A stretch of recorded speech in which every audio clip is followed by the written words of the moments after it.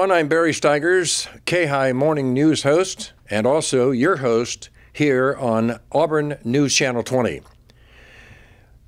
Auburn and marijuana don't get along very well. There was some time ago an ordinance passed that said you can't have a marijuana medical dispensary in the city of Auburn. That ordinance got challenged. I asked Councilman Mike Holmes, who has been a part of that ordinance for some time, to give me an update because as of Monday, the Supreme Court said that the ordinance in every town in California could, in fact, have an ordinance that says there will not be marijuana within the city. Here's what Mike said. Mike, uh, the Supreme Court came down with a decision on Monday that the ordinance here in the city of Auburn, which would uh, limit or not allow the so-called marijuana, medical marijuana shops. Uh, and so I know you, the city has been in a lawsuit and has been dealing with the situation for quite some time now. I think the number I last heard was $75,000 in legal fees. Yes. But uh, the Supreme Court evidently has now come down and said, you're okay, you're right. How do you feel about all that? Well, I think uh, as, uh, as uh, the City Council had passed an ordinance uh, several years ago that did not permit the establishment of medical marijuana uh, dispensaries uh, in the city of Auburn. Uh, the, the, the, the, group that started the business applied for a business license to open a flower shop. And then it devolved into, and I guess their original intent was to use this as a test case, I guess, but uh, in any event, uh, and it was right near the Boys and Girls Club, which uh, across the street from the Boys and Girls Club. So uh, we, uh, we shut them down because they had fraudulently put in their, in their business license, they were doing things that had not been approved. So that went resulted in a court case brought by the proprietors of this business and uh, ultimately worked its way through the courts to the uh, California Supreme Court. And I must say, uh, it, it, it stood for the right of local governments to make decisions whether to have them or not to have them. Um, but it, it wasn't just the, the Auburn, California case that they were addressing. There were other issues as well. So uh, I think uh, uh, we did well in that, and uh, uh, you know we may at some point want to readdress the whole issue of uh, medical marijuana dispensaries in the future, but I don't see that happening at this time. Mike, there were 200 other communities within the state of California who will benefit from this settlement. Uh, will they be able, or were they part of the lawsuit, and we, does Auburn get a chance to recover any of that money?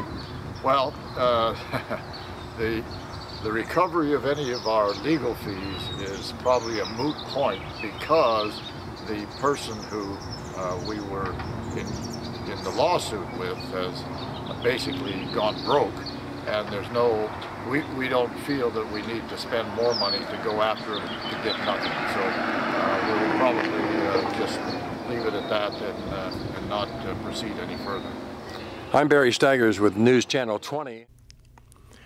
People in North Placer came out in large numbers this week and attended the supervisors meeting at the Domes. They were mad. They've been unhappy for a long time about the treatment of their sewage water. The decision was made some 18 months ago by the Placer County supervisors that they would join in on a regional pipeline that would feed the wastewater from North Auburn all the way to Lincoln. Lincoln, some time ago, when Sun City was built, received a new water treatment plant, and it was sized to not only handle all of the new residences coming in because of Sun City, but also for a long-term growth. It was large enough that with some expansion, it could become a regional treatment plant. What we learned is that the state of California and the Water Resources Board have been pushing for regionalization of wastewater treatment. As many of you remember, we've featured here on this channel how the city of Auburn feels about it. They don't want to join in with this pipeline. But the county already did. So this past Tuesday at the Domes, they had a hearing. The hearing was for a rate increase of almost $20 per user per month. This money is to go to pay for that pipeline. So there were a lot of mad people there, and the News 20 cameras were there. These are the actions that we're asking your board to take this morning. The first three will set the fee at $95.78, and that will provide the state revolving fund with the assurances they need to complete our funding. Um, As I mentioned, it'll also let us move forward with uh, the billing. The last action that we're asking you to do, um, your board could choose to reduce the fee that's charged to the customer by applying outside funding to the project. Absent that direction, we're asking you to, uh, for direction to assess the full fee of $95.78. And at this point, I would turn it back to you for the public hearing. I'll now open the public hearing. To the board, I'm Jack Sanchez. I live in North Auburn, Thon, and I don't think that any vote that you take is a permanent vote. You can recall your vote anytime you want. It hurts fishes in Coon Creek because of the streams that lead up to Coon Creek, and ultimately, what I'm most concerned with, it will hurt fishes in the Auburn Ravine. Thank you. Thank you, Mr. Sanchez. My name's Dan Sable. Uh, I've been a property owner in this district uh, for the past 22, 23 years. I have a rental property that I developed down on Edgewood Road. And I have uh, three parcels on approximately one acre with seven connections. My current rate fee is around almost $6,000 a year. The increase will bring that to another $1,300 a year approximately for my tenants, which are mostly elderly and you know all the problems with the problems us old people have with uh, keeping up with the times and the dollars and all that. Um, I've not raised any of my rents for the past four years just because of the economic situation we're all facing. I received the notice of this meeting and the possibility of doing a protest to the fees. The part that scared me of the fact that there's no guarantee on what our fees are going to be. The fees are open-ended someplace and, you know, based on the past, this Board of Supervisors has approved, by what I read in the newspaper, everything from this sewer district that's come before them in this time frame of the last 20 years. Uh, it may be time to look at options. So all of our, all of our fees would go up, and then, of course, the interesting question is, once you get all this money and you build up all this infrastructure, will our rates go down? No?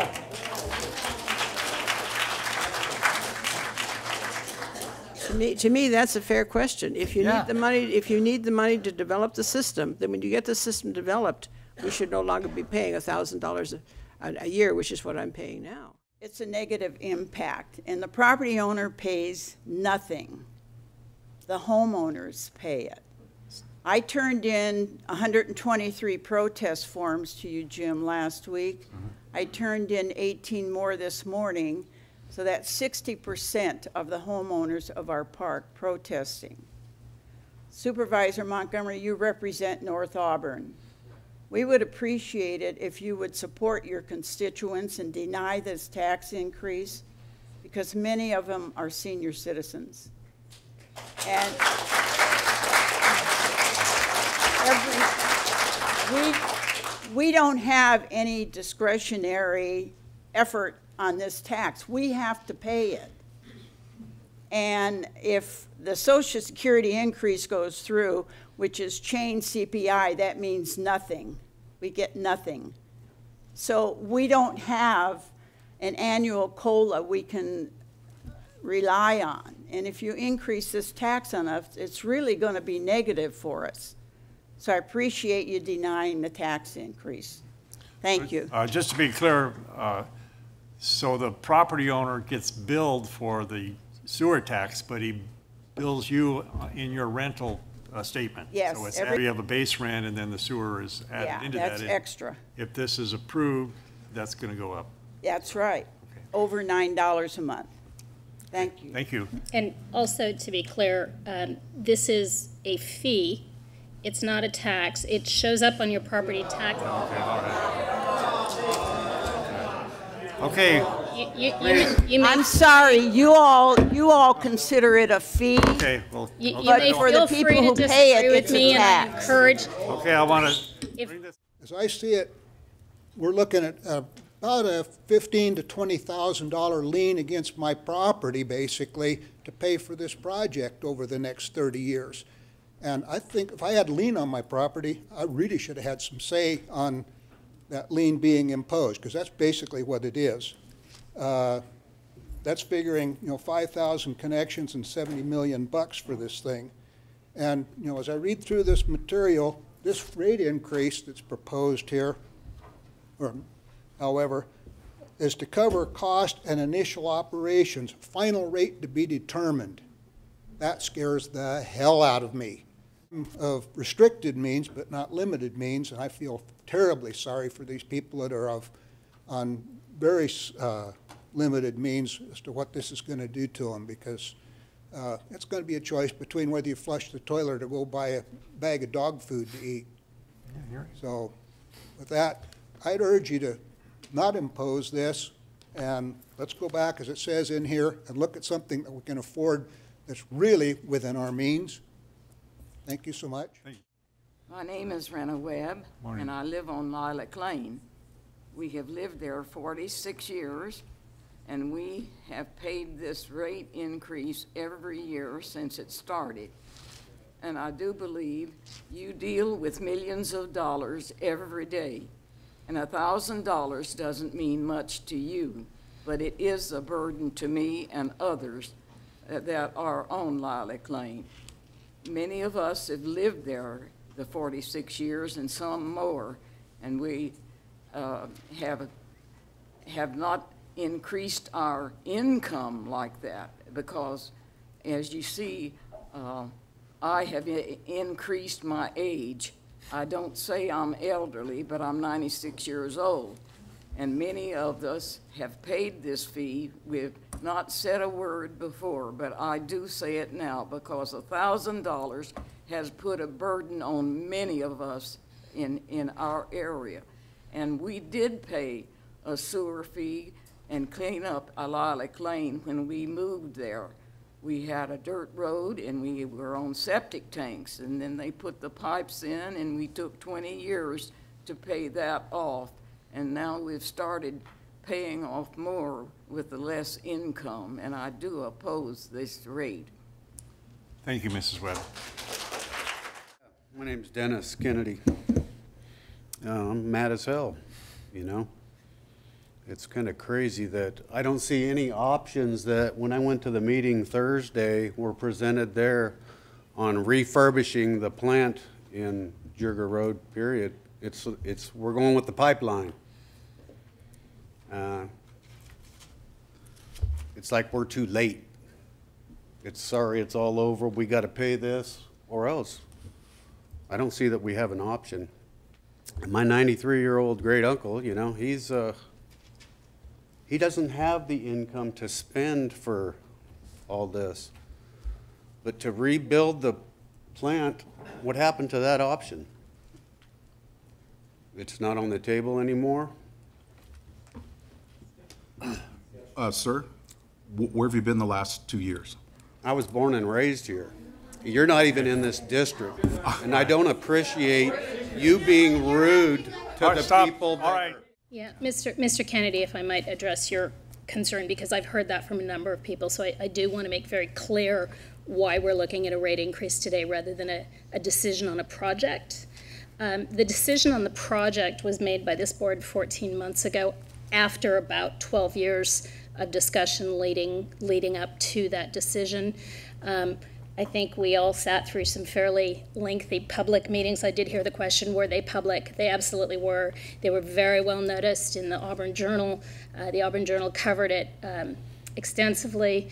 Uh, we had hundreds of people in attendance at those meetings um, from all over the county, but predominantly from SMD1. Um, and so the, the reason to answer your question just very directly that we're not talking about a different project today is because this board made that decision 14 months ago. Thank you.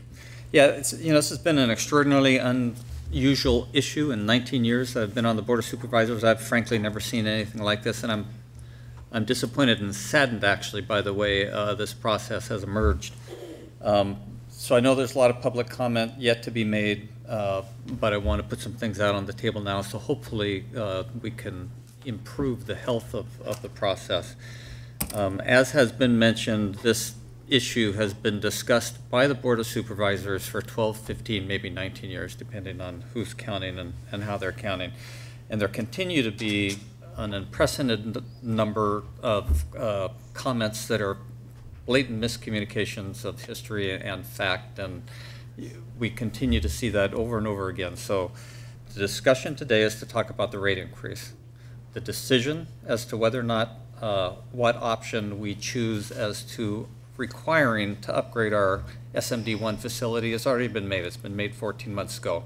It was a two-year process that was very public that led to that, and even more than that. There was plenty of opportunity to to present in front of the board and or lobby us individually as to your preferences as to what option uh, we chose. None of the options that we had available to us would have avoided uh, or, or allowed us to, to not involve about $70 million in new debt.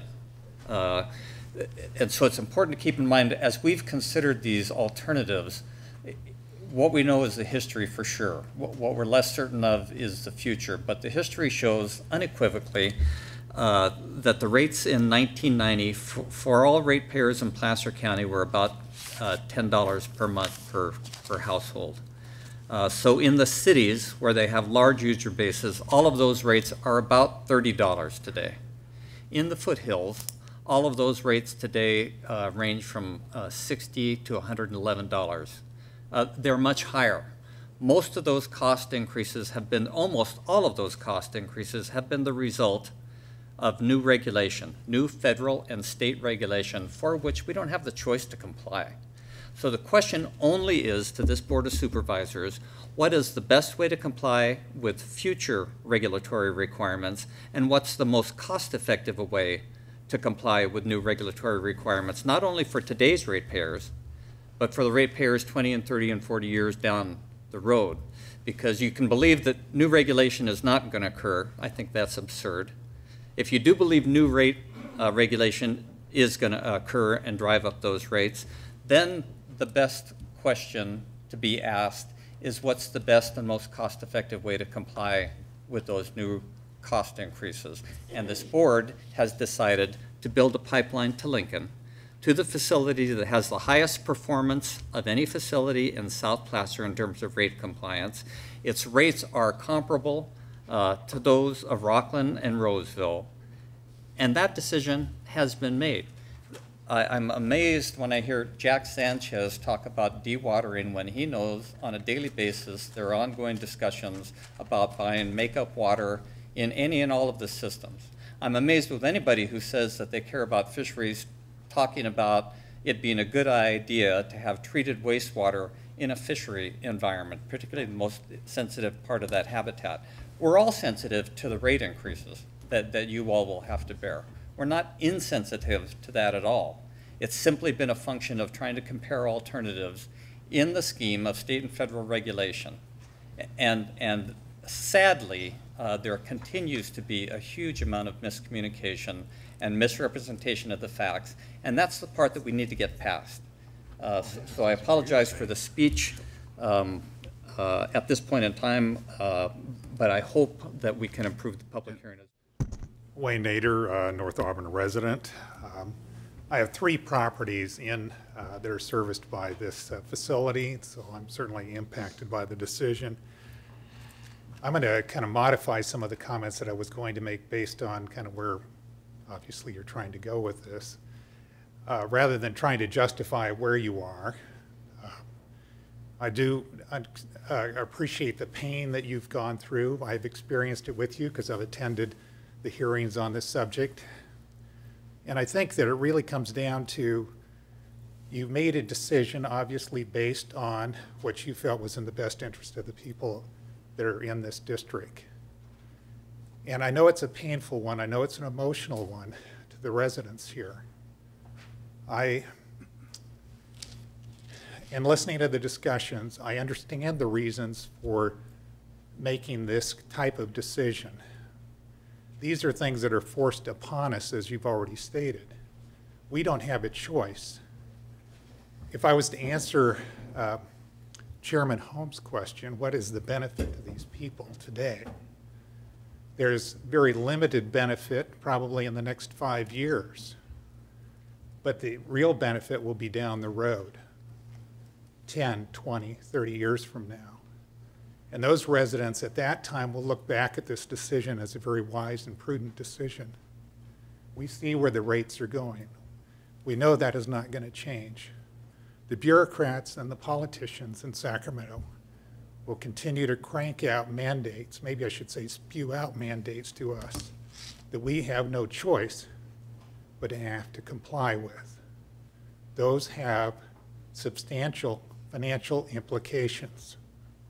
So the decision that you made many months ago was a wise decision. I know it was very difficult and controversial amongst you as a board, but you made that decision.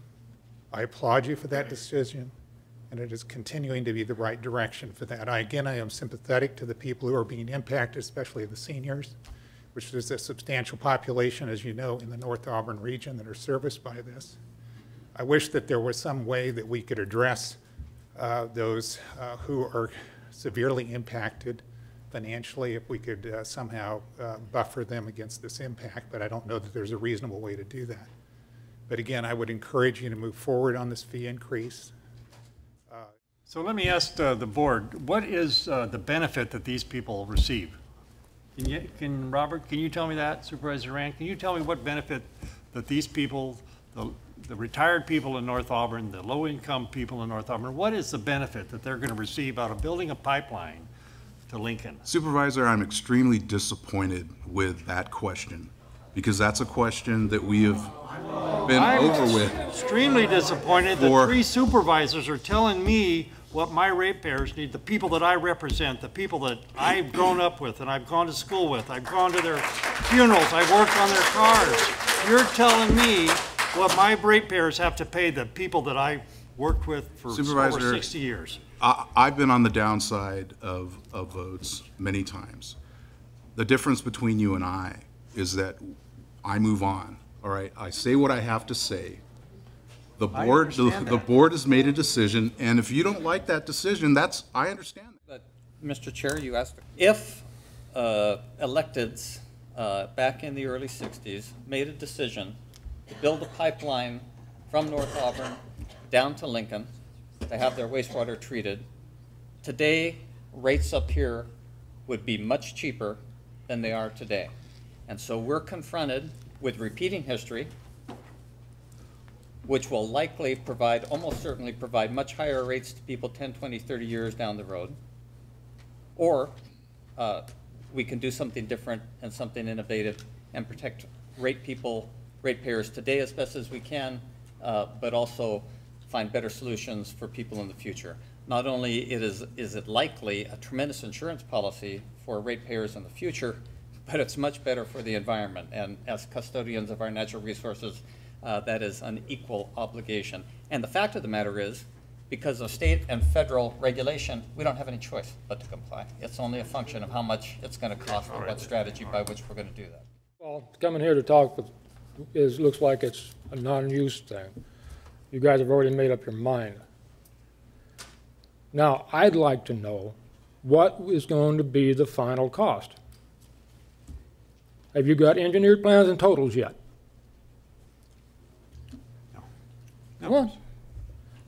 What is going to be the final cost? We don't know.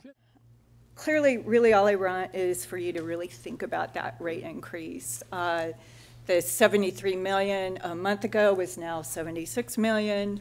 The interest rate was 1.7, now it's 1.9. Uh, all of those things that are unknown is going to affect that rate hike. I heard yesterday in the meeting that it could go up yearly, uh, and how much yearly? I'm here in support of my mother who has over half of her property tax bill now goes to paying for sewer. I- I think most of us would like to get a a little more solid information. I understand we're talking about fees. I do believe that the board can table today the decision to make a decision on whether or not there should be a fee increase. Is that correct? I believe so. So I have one other question. 14 months ago, when you were giving information to the public, did you discuss the fee increases? Yes. Mm-hmm. And the letter that came out March 21st to today, do you feel that that is enough time for people to, I mean, do you feel you gave people enough time to really voice their opinions? I'm in agreement with that there wasn't enough time for people to really understand in North Auburn what was coming down the pipe. Are any of the 13 members that made up the initial commission going to benefit from this in any way? There were 13 members that initially came together. Uh, I, I'm, I don't, I don't know what that, I'm not on the sure. recommendation committee? I have it on, I've got to have it on my Kindle, but I don't have the internet Was it connection. technical advisory committee, was that, There were 13 members initially Huh. to make recommendations. I don't, It could be in reference to the Placer There were Nevada eng- Wastewater Authority, and I Yes, don't there recall were- exactly how many So members there are were on there. engineers, architects, Oh, yeah. are any of those in a position to benefit from this? I'd like that to be under consideration. yeah, I can't, Um, can't speak to that. And I'm just unclear, I'm sorry, it doesn't address just specifically the fee increase issue. But will the plant be owned by Placer County or the city of Lincoln? Excuse me, the treatment plant is owned by the city of Lincoln, and that'll remain that way. And a long-term consideration that I haven't heard brought up is, we all know a water shortage is coming. Who will have control over that water? Has anybody addressed that issue? Are you referring to the reclaimed water that'll be produced at the? In the next 10 years, water is going to be a global, could be potentially a global issue. There are already corporations buying up property on streams, sucking the water out of our lakes. And will we have the control, will North Auburn and all of Placer County have the control over the city of Lincoln if for some reason there's a water shortage? Have you given that consideration? I'm against the fee, and I took it upon myself on Saturday to spend a couple hours in a local neighborhood. I knocked on 40 doors. I got 20 answers, 15 signatures. But of those 20 people I talked to, the one thing that was really impressed me, or not impressed me really, was there was a humongous lack of knowledge about the pipeline, local sewer, the fee, in future situations like this. We need to figure out a way to get more of that information out for the public, because there's just not that much out there. I've lived in Auburn 30 years. I'm sorry I was not involved in this process earlier, but I don't take the Auburn Journal. Um, I know I should have paid more attention, and uh, I will in the future, I promise you that. Um, In the past several, even up to 10 years, the board has showed a lot of long-term cost investment and capital improvements that are going to benefit the people of the county. I am opposed to the fee, but if I have to pay the fee, I would like to see the money spent on a project here in the county, an asset that we will own after. Uh, I'm Robert Snyder, uh, live in Auburn. Thank you for the opportunity to talk to you about this. Um, I'm probably one of the few individuals in the room that has sat through the 12-year process. And I'm also um, a civil engineer, landowner, and uh, paid close attention to the pluses and minuses. Um, To answer the question, mostly for the audience of why we're here, uh, it's the Clean Water Act. We elected representatives at the state and federal level who passed a law that said, um, over time, we will clean up our water sources. And that's what we've been doing forever, and we will continue to do unless you change those elected officials, and I don't support that. I think the Clean Water Act has been beneficial to the United States, and uh, we, this is just one of the things we have to live with. I'm going to give you an example of uh, another way to think about this because this is, it needs to be simplified in some way to understand it because it is very complicated and it would take a day for you to really understand all the pluses and minuses of all of the various uh, alternatives. But let's say you need a pump to operate and exist. You must operate that pump. You must maintain it. And there's a cost to operate and maintain it. Over time, you learn that the pump must be replaced every five years. Plus, there's additional water that has to be pumped. So it's not only the same water, you have to, it's increased every five years.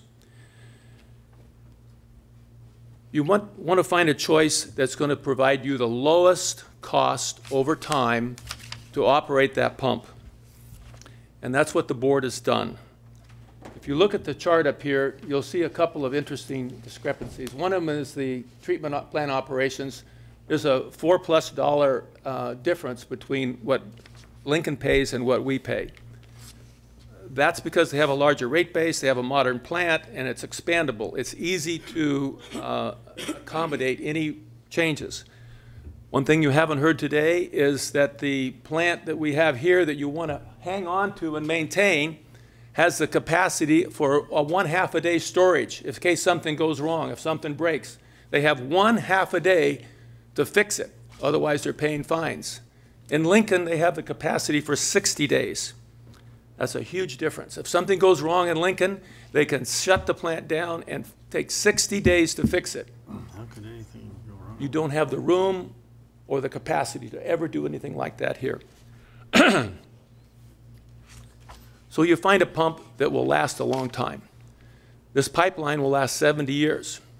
Another component of this chart is the regional project debt service payment. It's financed over 30 years. That component goes away in 30 years. It will be paid for, yet you'll be able to continue to use it. My last comment is for the low income people in here. If you are actually considering putting some money into this project, you need to direct it not to every ratepayer, because most of them can afford this increase, but some can't. You need to find a system where you have a qualifi qualification, single person in a household or two people in a household. Instead of paying for a whole family, they should be paying for what they actually use. So I would suggest that you find a way to have a system where those people can qualify and have a lower rate. And it would be paid by the general uh, fund and not by the ratepayers fund. Thank you for the time. I truly wish some of the passion that's here in this room today had been here 14 months ago. We might be discussing a different alternative, maybe, maybe not, but this is where we are today. Agendized for us today is discussion about a rate increase, not a project alternative. We can't reset the table that way. Submitted protests constitute less than 3,930 threshold for a majority protest.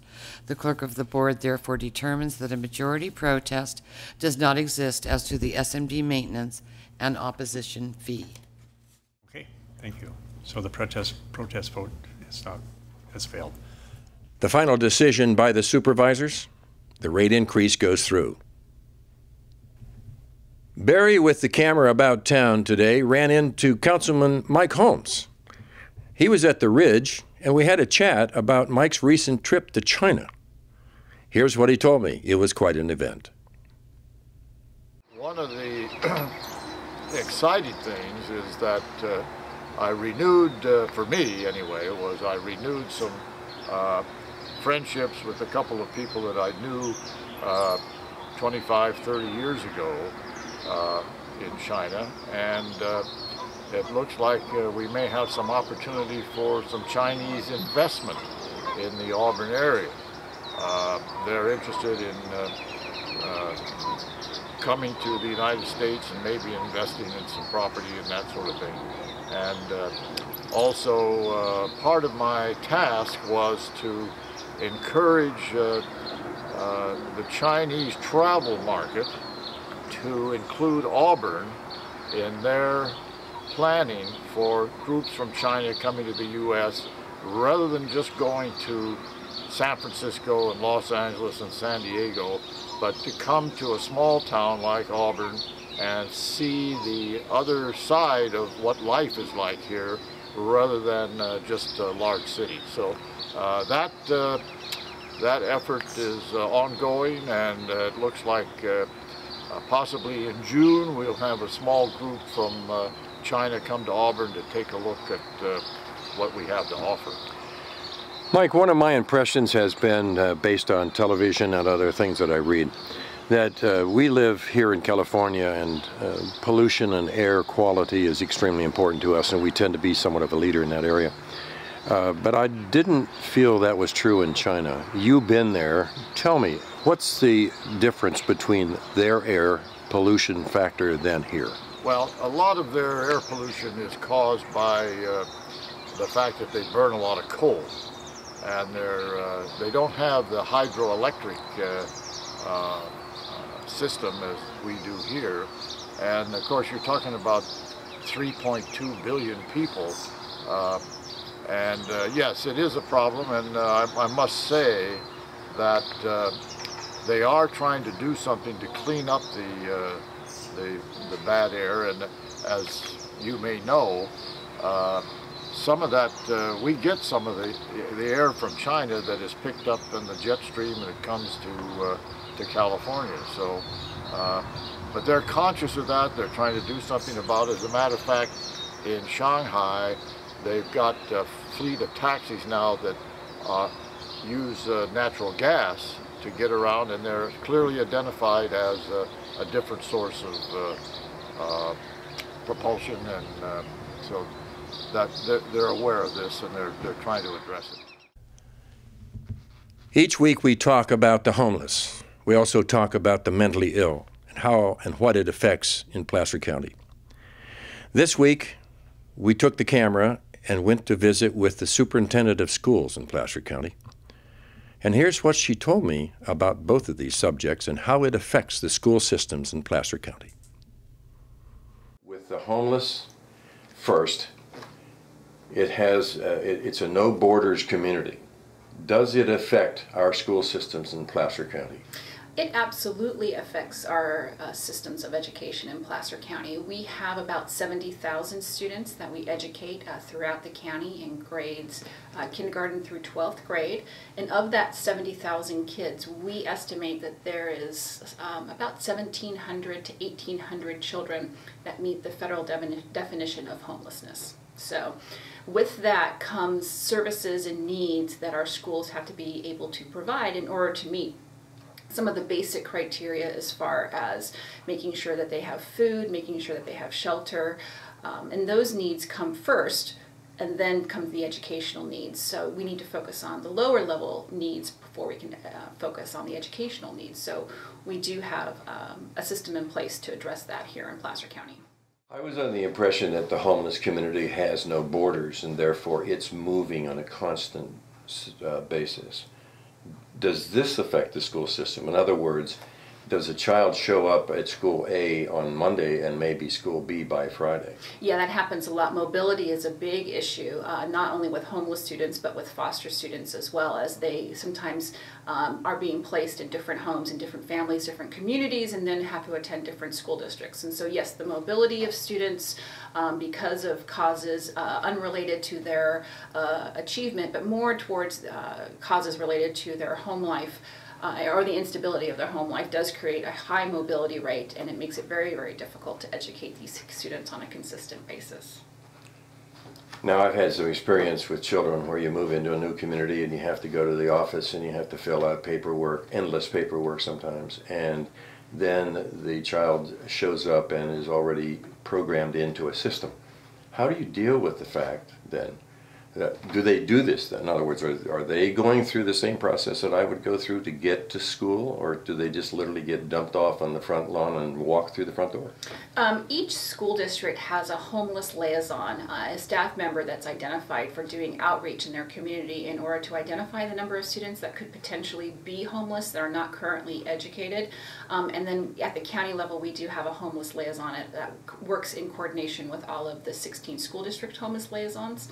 So we try to put together some sort of a coordinated uh, effort countywide where we are doing outreach to areas, whether it's uh, motels, uh, shelters, uh, campgrounds, uh, laundromats, that sort of thing, where we do have um, school personnel going out trying to find kids, trying to make sure that they're enrolled with school. Um, and with these kids, there is an expedited um, enrollment process where we do enroll them, and so within the next day, um, they are hopefully at that point attending school. But, but we do have a, pro a process by which we go out and we actively look for children. Gale, who pays for all this? Well, uh, we actually, many of our school districts get federal funds through the McKinney-Vento uh, Act, which provides uh, funds for school districts to provide technical resources, uh, technical assistance to these families, and to provide support services. Uh, we receive a couple of state and federal grants that are uh, at the County Office of Education that are directed towards uh, outreach and direct service and technical assistance for our school districts. Um, so a lot of it, most of our money comes from the state and federal government. Let's switch gears. One of the projects I'm working on is how the federal and state and county deals with the mentally impaired. I have to believe that this would affect the school systems. Does it? Very much so. Um, the um, we have a, a, federal piece of legislation called IDEA, which is Individuals with Disability Education Act. And students who come to school with some sort of a emotional uh, issue that causes emotional instability or emotional outbursts, um, um, we have uh, many students in the county who suffer from that, and it's up to the school districts uh, to identify those students and put together an individual education program for those kids that meet not only their academic needs but their emotional needs um, as well. We've been doing a lot of work with uh, early intervention, identifying uh, potential students that have maybe potential issues that are not full-blown um, um, where they're going to need deep end services and so we put a, a large amount of effort and resources into behavioral therapy at our school districts working with students and families so that we can catch students early, provide them the necessary mental health needs, and therefore hopefully keeping them out of the, the, the greater, more costly, the more expensive programs where students end up maybe in a residential program um, because of the severity of the emotional disturbance that they particularly have. So this is something that we've been providing a, a great deal amount of effort. And we actually have schools, the county office actually runs schools specifically designed for students with severe sp uh, special education needs, mean, severe special education emotional needs. Two other questions, Gale. on, a, on a scale of 1 to 10, how many of the students fall into this category? Oh, actually, I don't have that number for you. We have, um, I would probably, I would say there's probably hundreds of students in the county. Out of 70,000 students, we probably have hundreds, if not maybe a thousand uh, students who qualify uh, under IDEA, Individuals Disability Education Act, for severe emotional disturbance.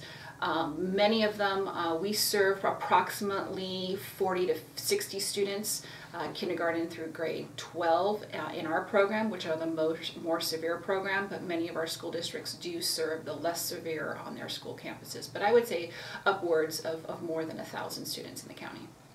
Final question. Over the last 10 years, have you seen this area grow? Is it bigger than it was?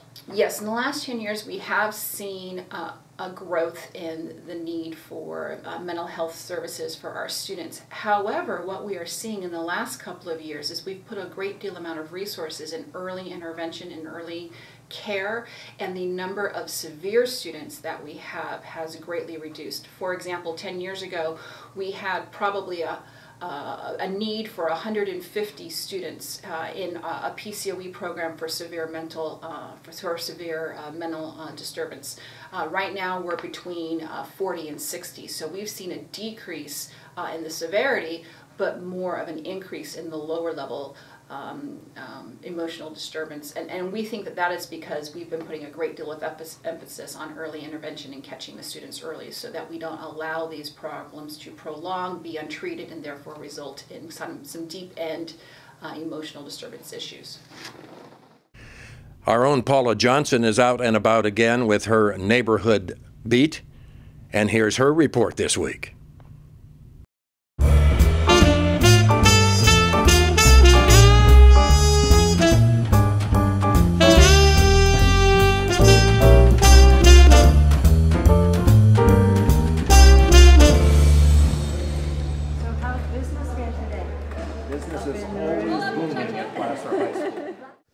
Hi, I'm Paula Johnston with Auburn News 20. What's your name? My name's Fred. And Fred, are you a volunteer here? I'm a volunteer. And what's your name? I'm Catherine. I'm a volunteer too. And you're also a volunteer, and you've done this before, I assume. I've been doing it for about 12 years, 12 years. right after I retired. And tell me something about the Placer High School students. Uh, they all come. It's a badge of honor. Placer Yeah, High th- th- there is a reason. It's a biology teacher, Thomas Schroeder. Ah, it's his fault. Yeah, he, he's one you should also talk to. Tom Schroeder, too humble to speak on camera, said the kids and the volunteers are the most important thing and that they all do it because it's a good thing to do. And what's your name? I'm Nicole Kettlecamp. And what are you doing here? Uh, today I am signing everybody in and out, and I hand out the T-shirts and make sure they know where to go. That's very nice. And have you done this before? No, this is my first time. And have you donated any blood? I'm not. I'm only 15, so I Oh, so you're not old enough yet. Do you plan to? definitely, without a doubt. Oh, that's really wonderful, and I've heard such a lot of good things about Placer High students. I hear it's a rite of passage almost, or a badge of honor. Absolutely. Most of the kids, once they turn 16, they give blood when they go to Placer. Great bunch of students you all are. Thank you very much. Are you in charge here? Yes, I am. And what's your name, please? I'm Asia. So you're here at Placer High School. Do you, have you been here before? Yes, I have. Is this usually a good turnout here? Uh, yes, this is a great school. Awesome students. That's really nice to hear. What are the requirements for donating blood for students? Um, you have to be at least 16 years old with a signed parent consent form and weigh at least 110 pounds and be in pretty good health. That sounds good. And what are there any problems that ever arise from donating blood? Um, sometimes after donating, people can feel a little lightheaded or dizzy. It's really important that you eat and drink a lot before. Drink at least two to three bottles of water. Um, otherwise, you may not feel too good. But otherwise, as long as you follow the rules, then you should be fine. That's great. And they get some nice snacks afterwards, I see. Yes, they do. Our student volunteers make awesome um, homemade goodies for the donors. Oh, is that how it works? The students do that? The volunteers? They do. We provide um, packaged snacks and everything. We're not allowed to make snacks like that, but the students um, will um, bring in and make goodies and everything. And this is really awesome. This is one of the only schools that does that. Really? Oh, that's wonderful to hear. Well, thank you very much for your time. I really appreciate it.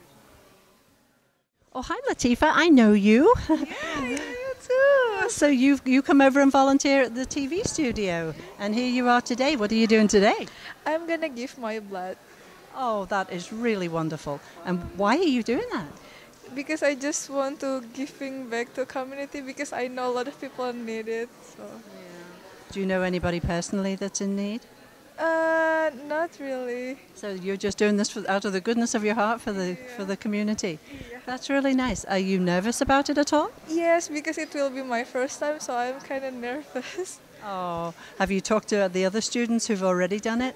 Yes, and they said like you'll be okay, so I just do it. Oh, well, that's very brave of you. It's it's quite a it's quite a brave thing to do, really, to because you're giving away a whole pint of your blood. Yeah. What do you anticipate? Do you think it will be painful, or how do you think you're going to feel? I think I'm gonna be okay because I'm not afraid of needles, so I think I'm gonna be okay. I hope I'm gonna be okay. I'm sure you will. Have you had a good breakfast this morning? Yes. Yes. Good for you. Well, good luck. I hope it doesn't hurt, and hope that you're well. Thank you for being here. And so um, here is a copy of your um, receipt, um, hotline number, their blood pressures, their post donation instructions are on the back.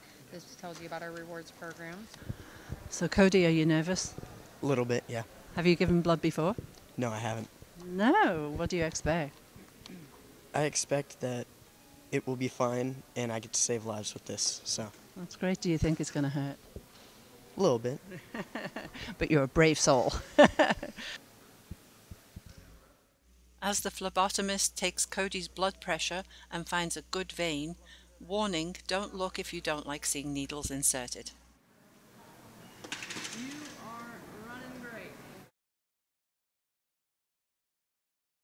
So, what's your name? Janelle Pickard.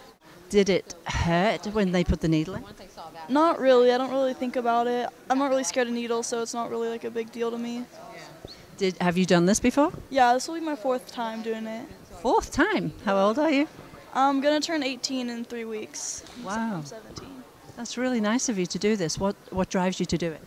Uh, just why not do it? I mean, I can, so I will. I mean, if it helps people. That's really nice. Is there a specific reason? Have you got anybody in mind that you know? Sometimes family members are having surgery or things like that, and or have had surgery, and, and that you're aware of the fact that there's a need for blood. Is there anything specific that brought you to do this? Not like direct family, but I've I know it definitely helps people, and I know that I can, so I'll do it. I mean, it doesn't hurt me at all. Good for you. And how do you feel afterwards? Usually, since this is your fourth time. Um, a little dizzy usually. Just need to sit down, feel really like relax, like I want to go to sleep. But I've never passed out or anything from it. Would you like to encourage friends or? Oh yeah, I mean, a lot of kids don't do it because they're scared of needles. So I mean, I guess that like a selfish reason. I kind of feel like, but I mean, if you're not, you should definitely come out and do it. Thank you very much, and thanks for your contribution to the world with your blood. How are you feeling, Cody? Really well. Does it hurt? Just a little bit, just a little pinprick. Yeah. That was when the needle went in. How about now? Is it hurting now? No, it just stings a little bit, but I'm supposing that's natural. You expected that, huh? Is there a specific reason that you're doing this? Have you ever had any personal um, family members or anything that have needed blood, or, or are you just doing it for the general overall good of the community? Uh, my twin brother has needed blood sometimes because uh, he has had three open heart surgeries. Wow. And I have the same exact blood as him. So I'm hoping maybe one day my blood will somehow get into him. Oh, that's a really great, great reason to do that. It's wonderful. So, are you feeling um, lightheaded in any way or anything like that? No, not Did you have a good breakfast? Yes, I did. That's good. That's what I like to hear. All right, I'm going to let you uh, sit and bleed for a while, and I'll check in on you again after you're finished. It looks like you're about halfway. I'm looking at your bag of blood now. It looks like you're about halfway. Do you know how much they take? Uh, I'm pretty sure it's a pint. Hi. Hi. What's your name? Yade Huntsberry. And why are you donating? To help out the people that need it. Is there a specific reason? Do you know of anybody that needs it in your personal life, or do you, is it just for the good of the community? It's for the good of the community. I bet you're feeling really good about this right now. I feel, yeah, happy. Is this your first time, or have you done it before? I've done it before, like three times maybe. Yeah. Really? Wow. Oh, Are you great? And do you have anything to say to other people that might be afraid of doing this? It's not that hard. It's easy once the needle gets in. That's the hard part, huh? Did it hurt? Not that much, just a little sting. Just a little sting. Yeah. And how's it? How's the uh, area where the needle went now? How does it feel now? Oh, it's fine. It goes away quickly. Well, we wish you good luck and hope you feel great and go have a nice snack and a nice long drink of something cool and you'll be back on your feet and on your way, huh? Yeah. So how are you feeling after you've donated blood? I feel good. I'm glad I did it, but I kind of feel I felt a little queasy, but it's all good now. So So is this your first time? yes. Well that kind of explains it. Makes you feel a little lightheaded at Mhm. first, huh? Yeah, and I was really nervous, so I think it kind of made that wor- like it was worse because of that. Yeah, because I don't think you breathe properly when you're nervous and so you get a little short on oxygen in the old brain. Yeah, I was holding my breath when you put the needle in, so Yeah, yeah. probably came from that. So now that you've already done it, would you do it again? For sure, it's for a really good cause, so I'd be willing to do it again. Do your family, does your family uh, donate blood? Um, my mom and my brother have donated before, but they have issues. They have really low iron, so I'm the only one in my family who's been able to suc- success- successfully give blood. Oh, well, that must make Yeah. you feel really good. Yeah, So what's your secret? How do you how do you keep the iron level high? I have no idea. I just drank a bunch of water. Yeah. Yeah. Oh, good for you. That's wonderful. And thank you very much for talking to us and thanks for being here. No problem. What are you ladies doing here? Well, I'm a volunteer with Sierra Donor Services, and we were asked to come, thanks to Wendy's son, who's a high school student here, to come and talk about organ donation. Um, whenever they get their driver's license, they now have to ask or answer the question, Do you wish to become an organ and tissue donor? And they won't process that application until they answer that question. So we're here to educate the students on that. So after they give their blood, we talk to them a little bit about signing up to be an organ donor. You, te- you say your son is involved with this? Yes, my son is a freshman here at Placer High School, and he let me know that Judy Johnston spoke in his health class about organ donation, and her visit to the school inspired him. He wanted to help out, oh, and so that's why he's volunteering here for, for Sierra Donors. And is he is he planning to be a donor? He is planning on being a donor. Yes. That's wonderful. Wendy, uh, Wendy doesn't know this yet, but her son signed up yesterday. Oh. okay. So how do you feel about that? Oh, I feel great about that. And do you, do, do you have the dot on your driver's license? I do have the pink dot on my driver's license. Oh, The reason I became interested in volunteering for Sierra Donor Services was that my son is a kidney recipient, and at age eight, he went into renal failure and um, received actually a living donation from his aunt. And now he's 21 doing very, very well. So I've been able to see somebody go from being so very sick to being so incredibly healthy. I, I decided to become a volunteer to spread the word about how positive organ donation is. Uh, If somebody is not already a donor, how do they become a donor? Um, they have a couple of choices. They could go to our website at donatelifecalifornia.org and register there. It only takes about two minutes. It's completely confidential.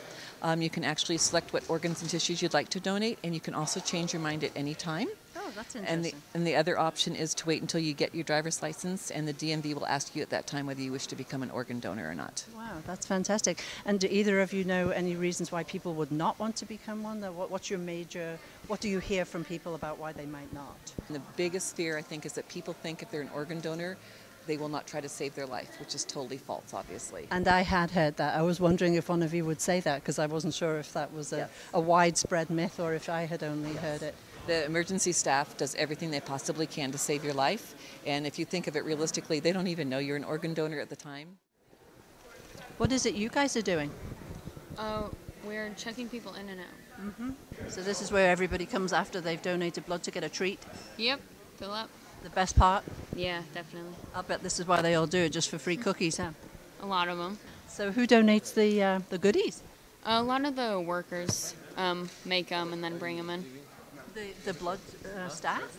Uh, a lot of the helpers that. Oh, that. the helpers? Yeah. Really? Yeah. So you all volunteer and do that? Yeah. That's wonderful. Cody Hitchcock, he's been on the sports scene again. Cody?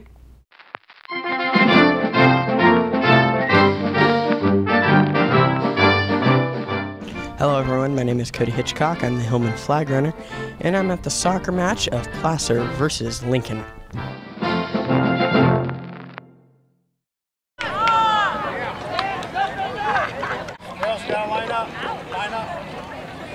It's our last soccer game of the year, so it should be a good game. We hope to be at Lincoln, and we probably will. Tonight is seniors' night here at the soccer game.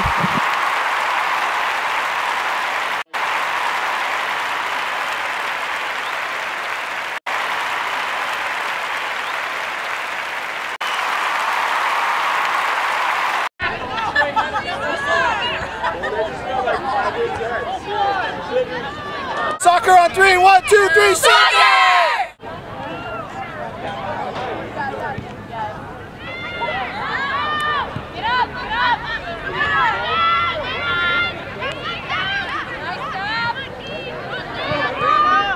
So, how does it feel to be PVL champion? It feels awesome, and um, especially being a freshman, it's like a really good feeling, definitely.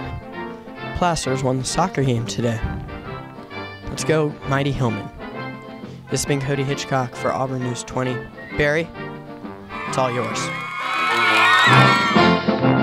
I'm Barry Stigers. I'm your host here on Auburn News Channel 20 and on K High Morning News. See you next week.